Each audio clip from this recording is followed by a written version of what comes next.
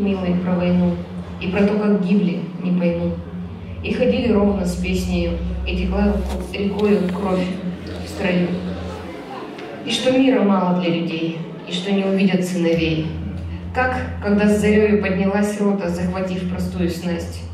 Милый, расскажи мне, как это, когда крик над миром шире там.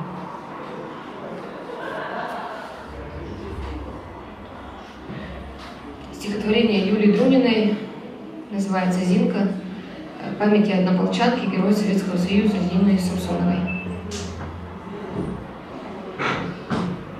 Мы легли у разбитой ели.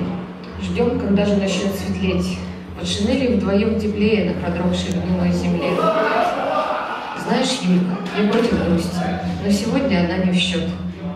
Дома, в яблочном захолустье, мама, мамка моя живет. У тебя есть друзья, любимый, у меня лишь она одна. Пахнет в хате квашней и дымом, за порогом бурлит весна. Старый, кажется, каждый кустик беспокойную дочку ждет. Знаешь, Юлька, я против грусти, но сегодня она не в счет. Отогрелись мы еле-еле.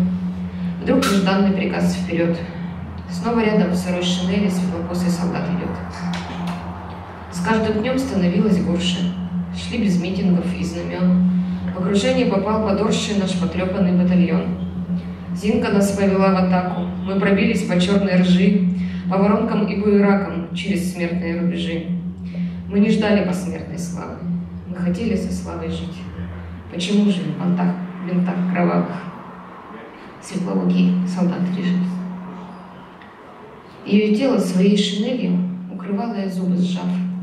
Белорусские ветры пели о рязанских глухих садах. Знаешь, Зинка, я против грусти, но сегодня она не в счет. Дома, в яблочном захолустье, мама, мамка твоя живет. У меня есть друзья, любимые, у нее-то была одна.